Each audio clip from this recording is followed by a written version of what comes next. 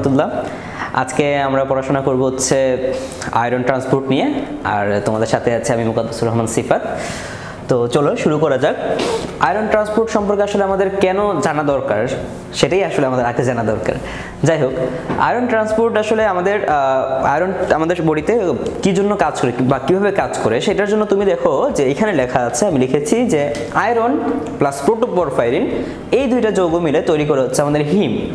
আর সেই হিমের সাথে যখন গ্লোবিন যুক্ত হয়, তখন সেইখান থেকে তৈরি হয় হচ্ছে আমাদের কাঙ্ক্ষিত হিমোগ্লোবিন। এবং হিমোগ্লোবিনের নাম তোমরা সবাই জানো। হিমোগ্লোবিন আসলে আমাদের ইরাথ্রোপয়েসিসে দরকার হয়। আমাদের রেড সেল প্রোডাকশনের জন্য আসলে মেইনলি হিমোগ্লোবিন লাগে। এই হিমোগ্লোবিন না থাকলে আসলে আমাদের অক্সিজেন বা কার্বন ডাইঅক্সাইড এগুলো ট্রান্সপোর্টে আসলে খুবই সমস্যা হতো তাহলে এই স্পেশাল কাজটার জন্য আমাদের বডিতে আয়রন দরকার হয়। এটা হচ্ছে একটা one of the most important কাজ। এছাড়াও আমাদের বডিতে বিভিন্ন রকম এনজাইমিক অ্যাক্টিভিটির জন্য আমাদের আয়রন লাগে। ঠিক আছে? তো এই সব বিভিন্ন রকম কাজের জন্য আয়রন দরকার হয়। সুতরাং আমাদের জানা উচিত আসলে এই আয়রনটা আমাদের বডিতে কীভাবে ট্রান্সপোর্ট হয়। কারণ যেইভাবে ট্রান্সপোর্ট হয়, এটা যদি আমরা জানতে পারি, তাহলে কীভাবে আয়রনটা ডেফিসিয়েন্সি হয়, সেই জিনিসটা আমাদের বুঝতে সুবিধা হবে। আচ্ছা তো দেখি, আমাদের আয়রন ট্রান্সপোর্টের আগে সবচেয়ে প্রথম গুরুত্বপূর্ণ যেটা, সেটা হচ্ছে আমাদের আয়রন ইনটেক আমরা আয়রন খাই আমরা আয়রন কীভাবে খাই বা কয়টা সোর্স হিসেবে খাই? আয়রনের আসলে দুইটা সোর্স হিসেবে আমরা পাই। একটা হচ্ছে একটাকে আমরা বলি হিম সোর্স আরেকটাকে আমরা বলি নন হিম সোর্স ওকে কোশ্চেন হচ্ছে হিম সোর্স এবং নন হিম সোর্স এই দুইটার কোনটা কি বোঝায়? হিম সোর্স হচ্ছে ওইসব সোর্স যেই সব সোর্সে তুমি আয়রনটা ফেরাস ফর্মে পাও। নন হিম হচ্ছে ওইসব সোর্স যেখানে তুমি আয়রনটা ফেরিক ফর্মে পাও। এখন এদের সোর্সটা কি আসলে? এই নন হিম যেই খাবারগুলো আছে, সেই খাবারগুলো এক্সাম্পল বা সোর্স হচ্ছে যেসব প্ল্যান্ট যেসব আমরা খাচ্ছি, যেমন প্ল্যান্ট বা হচ্ছে ভেজিটেবল এইখান থেকে আমরা পাই হচ্ছে নন হিম সোর্স মানে ফেরিক সোর্সের আয়রনটা আমরা পাই। আর যেটা হিম ফর্মে আছে, সেটা আমরা পাই হচ্ছে এনিম্যাল সোর্স থেকে। তাহলে আমরা কি কি বললাম? প্রথম কথা আমরা বললাম, এখানে আমরা অ্যানিমাল সোর্স থেকে পাই আমরা হিম আয়রন যেটা থাকে ফেরাস ফর্মে এবং আমরা প্ল্যান্ট সোর্স থেকে যেটা পাই, সেটা হচ্ছে আমাদের পাই ফেরিক ফর্মে বা হচ্ছে এফি থ্রি প্লাস ফর্মে এবং এটা হচ্ছে ভেজিটেবল থেকে পাওয়া যায়। যার মধ্যে একটা কথা খুবই গুরুত্বপূর্ণ যে আমাদের আসলে আয়রন অ্যাবজর্পশনের জন্য আমাদের কোন ফর্মটা দরকার? আমাদের আয়রন অ্যাবজর্পশনের জন্য আমাদের ফর্ম দরকার হচ্ছে ফেরাস ফর্মটা এফি টু প্লাস ফর্মটা সুতরাং যেটা অলরেডি হিম আয়রন যেটা অলরেডি ফেরাস ফর্মে আছে, এটা কিন্তু আমাদের জন্য অ্যাবজর্পশন করা সহজ। তো যখন আমরা আমাদের ফুড ইনটেক হয়ে গেল, এটা যখন আমাদের স্টমাকে চলে আসলো স্টমাকের হাইড্রোক্লোরিক অ্যাসিড, এই নন হিম এবং হচ্ছে হিম যে সোর্সগুলো থাকে, সেই সোর্সের ফুড থেকে এলিমেন্টাল যে আয়রনটা আছে, সেই আয়রনটাকে সেপারেট করতে সাহায্য করে। তো সেই জন্য দেখো, এখানে হাইড্রোক্লোরিক অ্যাসিড কিন্তু আমাদের খুবই ইম্পর্টেন্ট একটা মিডিয়াম যাদের হাইড্রোক্লোরিক অ্যাসিড সিক্রেশন হয় না, যারা অনেক দিন ধরে প্রোটন পাম্প ইনহিবিটর খায়, যাদের একক্লোরোহাইড্রা হয়, ঠিক আছে, যে কোনো ডিজিজের কারণে হোক না কেন, তাদের কিন্তু দেখা যাচ্ছে আয়রন অ্যাবজর্পশনের সমস্যা হতে পারে। এটা একটা আমরা প্রথম স্টেপ শিখে গেলাম। এক নম্বর স্টেপে হচ্ছে আমাদের, যখন হিম বা নন হিম আসলো প্রথমে, কার মাধ্যমে? এলিমেন্টাল আয়রনটা ভাগ হইল হাইড্রোক্লোরিক অ্যাসিডের মাধ্যমে। ওকে দেন আমরা আসি হচ্ছে ডিউডেনামে most of the iron easily absorption হচ্ছে হচ্ছে ডিউডেনামে তো এখন আমরা ডিউডেনামের একটা সেল এখানে বড় করে দেখিয়েছি। এই সেলে এই সেলে মানে অ্যান্টেরোসাইটে এখানে ধরো দুইটা বর্ডার থাকে, আমি এইটা মানে নিচ থেকে উপরের দিকে দেখানো হচ্ছে। তো এইটা হচ্ছে ধরো ভিতরের বর্ডার ভিতরের, এটা হচ্ছে ভিতরের বর্ডার আমরা ভিতরের বর্ডারে কি হয় দেখি? ভিতরের বর্ডারে এখানে দুইটা ট্রান্সপোর্টার আছে। একটা ট্রান্সপোর্টার দিয়ে ফেরাস ফর্মের যে আয়রনটা আছে, এটা নর্মালি ঢুকে যেতে পারে, এটার জন্য কোনো চেঞ্জের দরকার হয় না। তাহলে ফেরাস আয়রন আসলো হিম আয়রনটা আসলো ইজলির ভিতরে চলে গেল।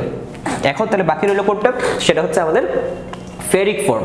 তাহলে ফেরিক ফর্মের আয়রনটা আমরা বললাম ভিতরে ঢোকার জন্য তাকে ফেরিক ফর্ম থেকে কিসে পরিণত হতে হবে? ফেরাস ফর্মে তাহলে ফেরিক ফর্মের আয়রন এখানে ছিল, সেইটা এখানে ফেরাস ফর্মে পরিণত হলো এবং এই যে ফেরিক ফর্মে আয়রনকে ফেরাস ফর্মে পরিণত করল, এর জন্য একটা এনজাইম লাগে। সেই এনজাইমটাকে আমরা বলি হচ্ছে ফেরো রিডাকটেস, রিডাকশন। তার মানে হচ্ছে দেখো, তার থ্রি প্লাস থেকে টু প্লাস করে দিলাম। তাহলে তাকে আমরা ফেরো রিডাকটেস যে এনজাইম বা এনজাইমটার মেইন নাম হচ্ছে cytochrome B duodenum duodenal cytochrome B এই যে এটা। এই এনজাইমটার মাধ্যমে ফেরাস থেকে আমরা হচ্ছে সরি ফেরিক থেকে আমরা হচ্ছে ফেরাস ফর্মে পরিণত করলাম। এরপরে ডিএমটি ওয়ান এই রিসেপ্টর রিসেপ্টরের নাম জানা বা না জানা খুব একটা গুরুত্বপূর্ণ জিনিস না। যাই হোক, তাও বলে যে ডাইভ্যালেন্ট মেটাল ট্রান্সপোর্টার এই ডিএমটি ওয়ান রিসেপ্টর দিয়ে এই ফেরাস ফর্মের যে আয়রনটা আছে, এইটা এবং এইটা, এই দুই আয়রনগুলো এখানে ভিতরে ঢুকলো। এখন আয়রন হচ্ছে এরকম একটা কম্পাউন্ড যেটা যদি আমাদের শরীরের মধ্যে বেশিক্ষণ থাকে বা যে কোনো জায়গায় থাকুক না কেন, এরা বেশি বেশি করে ফ্রি রেডিকেল তৈরি করতে পারে। তো সেই জন্য যারা দেখবা যে ধরো কঠিন যারা দাগি আসামি তাদের সাথে সবসময় আশেপাশে পুলিশ থাকবে, তাদেরকে একদম হাত বেরিয়ে পড়ানো রাখে মানে হাতে বেরিয়ে পড়ানো থাকে। তো এই যে ফেরিস ফেরাস ফর্মের যেসব আয়রনগুলো আছে, এরা যেহেতু খুবই খারাপ, তাহলে এদেরকে সবসময় আমরা একটা কোনো কিছু দিয়ে বাউন্ড করে রাখব। তাহলে এরা যখন সেলের মধ্যে ঢুকলো, আমরা সেলের ঢুকার সাথে সাথে এদেরকে একটা জিনিস দিয়ে আমরা বাউন্ড করব। সেই যে প্রোটিনটা দিয়ে বাউন্ড করব, এখানে এ লেখা আছে। এ দিয়ে বোঝাচ্ছে হচ্ছে এই প্রোটিনের নাম হচ্ছে এপু ফেরিটিন ঠিক আছে? তাহলে এপিফেরিটিন তাহলে আমরা এক নাম্বার স্টেপে পড়লাম হাইড্রোক্লোরিক অ্যাসিডের কথা, দুই নাম্বার স্টেপে এখানে রিডাক্টেজের কথা পড়লাম, তিন নাম্বার স্টেপে এসে পড়লাম হচ্ছে বাইন্ডিং এর কথা। তাহলে আয়রনটা তিন নাম্বার স্টেপে এসে কি করল? এই এপোফেরিটিনের সাথে ফেরাস ফর্মের আয়রনটা বাইন্ডিং অবস্থা থাকল। এপোফেরিটিনের সাথে যখন এরকম আমাদের আয়রনটা বাইন্ড করল, তখন যেই কম্পাউন্ডটা তৈরি হয়, সেটাকে আমরা বলি হচ্ছে ফেরিটিন কি বলি? ফেরিটিন ওকে তাহলে এটা কিন্তু একটা খুবই ইম্পর্টেন্ট জিনিস যে আয়রনের স্টোরেজ ফর্ম কোনটা? আয়রনের স্টোরেজ ফর্ম হচ্ছে ফেরিটিন এটা আমাদের অবশ্যই খুব ভালো করে জানা রাখা উচিত এবং আয়রনটা নর্মালি অ্যান্টেরোসাইটের ভিতরে ফেরিটিন ফর্মে স্টোর থাকে। তবে তবে কোনো কোনো সময় অনেকগুলো ফেরিটিন একসাথে হয়ে বা ফেরিটিন প্রোটিনটা ডিন্যাচারেশন হয়ে কি হতে পারে? ধরো অনেকগুলো ফেরিটিন একসাথে জমতে জমতে প্রোটিনগুলো ডিন্যাচারেশন হয়ে একটা অন্যরকম একটা জিনিস তৈরি করে অন্য একটা স্টোরেজ ফর্ম এই স্টোরেজ ফর্মটাকে আমরা বলি হচ্ছে হিমোসিডারিন হিমো সিডারিন তাহলে আমরা আয়রনের দুইটা স্টোরেজ ফর্ম সম্পর্কে জানলাম। নর্মাল যে স্টোরেজ ফর্মটা নর্মাল স্টোরেজ ফর্মটা হচ্ছে ফেরিটিন যেখানে হচ্ছে এপোফেরিটিন প্লাস আয়রন মিলে যায়। আর একটা স্টোরেজ ফর্ম হচ্ছে হিমোসিডারিন যেখানে হচ্ছে ফেরিটিনটা ডিনেচারেশন হয়, হয়ে হচ্ছে হিমোসিডারিন হয়। ওকে আচ্ছা এর মধ্যে এই ফেরেটিন যে ফর্মটা আছে ফেরেটিন ফর্মটা কিন্তু নর্মালি আসলে আমরা খালি চোখে দেখতে পারি না বা মাইক্রোস্কোপ দিয়ে খুব একটা দেখা যায় না। কিন্তু হিমোসিডেনের জিনিসটা খুবই ভালোভাবে দেখা যায়। হিমোসিডেন খুবই একটা আলাদা একটা কালার দেয় এবং সেই জন্য এটা খুব ভালো করে এবং যেহেতু বড়, এটা খুব ভালো মতো চোখে পড়ে। যাই হোক। তাহলে এই যে আয়রনগুলো এখানে এই অবস্থা থাকল, এখন পর্যন্ত কিন্তু আয়রনগুলো কিন্তু ব্লাডে যায় না এরা কিন্তু আমাদের সার্কুলেশনে যায় না যখন এরকম স্টোর অবস্থা থাকে, যদি অ্যান্টেরোসাইটগুলা অ্যান্টেরোসাইটগুলো ডেস্ট্রয় হয়ে যায়, ঠিক আছে? তখন এই অ্যান্টেরোসাইটগুলোর সাথে সাথে কিন্তু আমাদের আয়রনটা বডি থেকে এভাবেই চলে যায়। কিন্তু আমাদের ব্লাডে নেওয়ার জন্য তখন কি করতে হবে? ব্লাডে নেওয়ার জন্য এইখানে আমাদের আরেকটা ট্রান্সপোর্টার থাকে। এই যে ট্রান্সপোর্টারটা এটা এটা কিন্তু খুবই ইম্পর্টেন্ট একটা ট্রান্সপোর্টার ঠিক আছে? এই ট্রান্সপোর্টারটার নাম আমাদের অবশ্যই খুবই ভালো করে মনে রাখতে হবে। এই ট্রান্সপোর্টারের নাম হচ্ছে ফেরোপোর্টিন ফেরো পোর্টিন ঠিক আছে? তাহলে মনে রাখবে ইম্পর্টেন্ট ট্রান্সপোর্টার সেটার নাম হচ্ছে ফেরোপোর্টিন ওকে সেই ফেরোপোর্টিন ট্রান্সপোর্টার দিয়ে আমাদের আয়রনটা কোন ফর্মে বের হলো? ফেরাস ফর্মে এফই টু প্লাস ফর্মে কিন্তু সে যখন এখানে রাস্তায় ঘোরাফেরা করবে, যখন সে ব্লাডে ঘোরাফেরা করবে, তখন সে আবার সে ফেরাস ফর্মে ঘোরাফেরা করতে পারবে না। তাহলে তাকে আমাদের কি করতে হবে? আবার তাকে ফেরিক ফর্মে কনভার্ট করতে হবে। তাহলে এই যে ফেরাস ফর্ম থেকে ফেরিক ফর্মে কনভার্ট করা কনভার্ট করার জন্য এইখানে আরেকটা আমাদের চেঞ্জ করার জন্য আরেকটা উপাদান থাকে, সেইটার নাম হচ্ছে হেফেস্টিন হেফেস্টিন তাহলে এটাকে আমরা চার নম্বর স্টেপ হিসেবে ধরতে পারি। তাহলে চার নম্বর স্টেপে কি হলো? আমি আবার বলি। প্রথমে তিন নম্বর স্টেপে যে ফেরিটিনগুলো ছিল ফেরিটিনটা ভাসতে ভাসতে নিয়ে বাইরে গিয়ে, এইখানে গিয়ে তার আয়রনগুলো ছেড়ে দিল। ছেড়ে দেওয়ার পরে এই যে ফেরাস ফর্মের যে আয়রনটা আছে, সেইটা ফেরোপোর্টিন দিয়ে বের হইল। বের হওয়ার সাথে সাথে একই সাথে সে কি হেফেস্টিন নামক যে কনভার্টারটা আছে কনভার্টার দিয়ে সে ফেরাস ফর্ম থেকে ফেরিক ফর্মে ট্রান্সফার হয়ে গেল। এখন একটু আগে আমি বলেছিলাম যে আয়রন কি করতে পারে না, কোনো সময় একা থাকতে পারে না। আয়রনকে সব সময় একজনের সাথে বাইন্ড করে থাকতে হয়। তাহলে এই যে এটা, এইটা ছিল লুমিনাল সাইড এটা যে হচ্ছে যে তোমার বাইরের যে সাইডটা ছিল, সেই বাইরের সাইডের সাথে আছে হচ্ছে এদিকে ব্লাড ভেসেল এই যে ফেরাস ফর্মের যে আয়রনটা আছে সেই আয়রনটা এখন কোথায় চলে আসলো? আমাদের ব্লাড ভেসেলের ভিতরে চলে আসলো। তাহলে এখানে ফেরাস ফর্মের আয়রন, এইটা ব্লাড ভেসেলের ভিতরে এখন চলে আসলো। তাহলে ব্লাড ভেসেলে আয়রনের টক্সিসিটি থেকে বাঁচার জন্য আয়রনটাকে আবার বাইন্ড করা হবে। কার সাথে বাইন্ড করা হবে? এই যে প্রোটিনটার নাম, সেই প্রোটিনটার নাম হচ্ছে ট্রান্সফেরিন আমরা আমাদের কম্পোজিশন অফ ব্লাড এই ভিডিওতে আমরা বলেছিলাম যে ট্রান্সফেরিন হচ্ছে এক ধরনের গ্লোবিউলিন বাইন্ডিং একটা গ্লোবিউলিন যেটা হচ্ছে কোনো কিছু একটা প্লাজমা প্রোটিন যেটা হচ্ছে আয়রন ট্রান্সপোর্টের জন্য ইউজ করা হয়। এরকম আরও কয়েকটা বাইন্ডিং গ্লোবিউলিন আছে। ওই ভিডিওটা তোমরা দেখতে পারো। আচ্ছা তো ট্রান্সফেরিনের সাথে এইখানে একটা ট্রান্সফেরিনের কয়েকটা বাইন্ডিং সাইট থাকে। যেমন এখানে তিনটা বাইন্ডিং সাইট দেখানো হচ্ছে, ঠিক আছে? এই তিনটা বাইন্ডিং সাইটের মধ্যে একটা আয়রন কি, একটা বাইন্ডিং সাইটকে এরকম অকিউপাই করবে। ঠিক আছে? আমি ট্রান্সপারেন্ট এরকম বড় করে দেখাচ্ছি। এরকম তিনটা বাইন্ডিং সাইট থাকে। একটা জায়গায় গিয়ে আয়রন অকুপাই করবে। ঠিক আছে? তাহলে এই জিনিসটাও আমাদের খুবই গুরুত্বপূর্ণ। দেখো, যদি তিনটা থেকে একটাতে বাইন্ড করে, তার মানে হচ্ছে অ্যারাউন্ড কত পার্সেন্ট এখানে আয়রন বাইন্ড হলো থার্টি থ্রি পার্সেন্ট ঠিক আছে? তাহলে এখানে আয়রন বাইন্ডিং ক্যাপাসিটি হচ্ছে থার্টি থ্রি পার্সেন্ট ওকে এইটাও হচ্ছে আমাদের আয়রন ডেফিসিয়েন্সি এনিমিয়াতে জানার জন্য খুবই গুরুত্বপূর্ণ যে টোটাল আয়রন বাইন্ডিং ক্যাপাসিটি কত। ধরো যদি কোনো কারণে আয়রন কমে যায়, যদি এখান থেকে আয়রনটা নাই হয়ে যায়, তাহলে কি হবে? আয়রন বাইন্ডিং ক্যাপাসিটি তার আরও বেড়ে গেল না এই ট্রান্সফারিং ইয়াটার প্রোটিনটার কেন? কারণ এই যে জায়গাগুলো আরও ফাঁকা হয়ে গেল, তাহলে আয়রন বাইন্ডিং ক্যাপাসিটি বেড়ে যায়। তাহলে যখন আয়রন ডেফিসিয়েন্সি এনিমিয়া হয় আয়রন যখন থাকে না, তখন এখানে কি হবে? ট্রান্সফিরের আয়রন বাইন্ডিং ক্যাপাসিটি বাড়বে। আচ্ছা যাই হোক, তাহলে এটা আমাদের কয় নাম্বার স্টেপ হলো? পাঁচ নাম্বার স্টেপ এই যে ট্রান্সফেরিনটা এখানে যে আয়রনকে নিয়ে বাইন্ড করলে, এখন এই ট্রান্সফেরিনটা কোথায় যাবে? একটা ট্রান্সফেরিনের যাওয়ার জন্য অনেক জায়গায় ট্রান্সফেরিনের রিসেপ্টর থাকে। রিসেপ্টর থাকে হচ্ছে বোন মেরুতে তো এই ট্রান্সফেরিন যখন এই আয়রনটাকে নিয়ে বোন মেরুতে যাবে, তখন সে কি করবে? ওইখানে বোন মেরুতে যাওয়ার পরে বোন মেরুতে গিয়ে সে আয়রনটা ছেড়ে দিবে। তাহলে বোন মেরুতে আমরা ইরেথ্রোপোয়েসিসের ভিডিও লেকচারে বলেছিলাম কি করে ইরেথ্রোপোয়েসিস হয়? তখন বোন মেরুতে এটা হচ্ছে ইরেথ্রোপোয়েসিস ওইখানে হেল্প হবে, ঠিক আছে? তাহলে বোন মেরুতে গিয়ে ইলেকট্রোপোসিস করবে। এরপরে ট্রান্সফেরিনের আরেকটা রিসেপ্টর থাকে লিভারে ঠিক আছে? তাহলে ট্রান্সফেরিনের লিভারের রিসেপ্টর কি হবে? ধরো, এইখানে আমরা দেখাই যে ট্রান্সফেরিনের ধরো এটা একটা ট্রান্সফেরিনের রিসেপ্টর ঠিক আছে? তখন এইখানে ভাসতে ভাসতে ভাসতে ভাসতে যখন ট্রান্সফেরিন রিসেপ্টর এসে ট্রান্সফেরিনটা যখন এখানে বসল, ধরো এটা হচ্ছে ট্রান্সফেরিন আর এটার মাথা হচ্ছে ধর আয়রন ঠিক আছে? এখানে ট্রান্সপেরেন্ট এখানে এটার মাথা আয়রন যখন রিসেপ্টরের মধ্যে বসল রিসেপ্টরটা এই টোটালটাকে রিসেপ্টর মিডিয়েটেড এন্ডোসাইটোসিস হয়ে এই টোটাল ট্রান্স ট্রান্সপেরেন্ট আর হচ্ছে আয়রন যেটা আছে, এই জিনিসটাকে হ্যাপাটোসাইট লিভারের হ্যাপাটোসাইটের ভিতরে নিয়ে গেল। নিয়ে যাওয়ার পরে এদের এখানে আয়রনটা স্টোর ফর্মে থাকল এবং ট্রান্সফেরেন্টটা এরা ব্লাডের ট্রান্সফেরেন্ট ব্লাডে ফিরে দিল। তাহলে দেখো, এইভাবে এইখানে রিসেপ্টর থাকার মাধ্যমে কি হলো? ট্রান্সফেরেন্ট ঘুরে গিয়ে হ্যাপাটোসাইটে কি করতে পারল? আয়রনটাকে স্টোর করতে পারল। ঠিক আছে?